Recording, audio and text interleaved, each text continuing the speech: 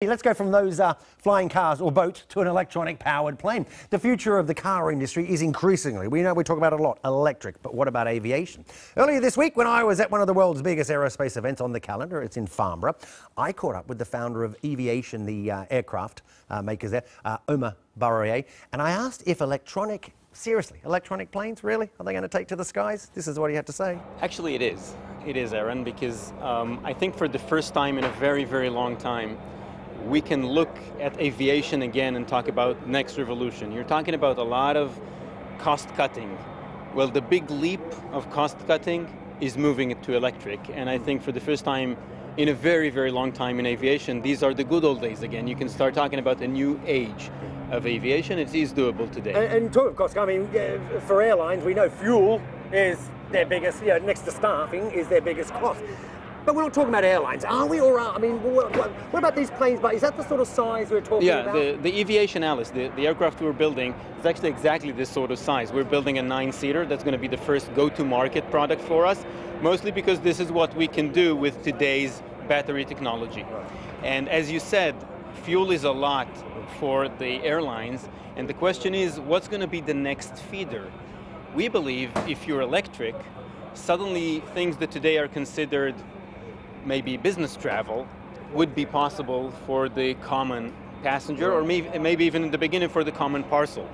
You mentioned about current technology in battery technology. I mean, is it what what you're using in planes? Is it the same as what we see in electric cars? Uh, yeah, well, ba basically yes, but just more of it. And uh, one of the internal jokes, we carry roughly 960 kilowatt hours. That's 10 times Tesla's battery. Is that heavy carry. though? oh yeah, it is. We're talking about roughly 8 point, sorry, 3.8 tons, metric tons to carry a plane that size. So a lot of the aircraft is battery, and in reality, some of the technology that enables this is not the battery technology. It's actually the lightweight materials and the new ways to manufacture that make everything else much lighter. Mm, okay. Just beyond those two small planes is, is, a, is a big 777. Maybe one when? day. Maybe one day? Not maybe. For sure one day. And the reason is very simple the simplicity of electrical systems and the cost of energy creates a huge price advantage for maintenance costs and for energy costs.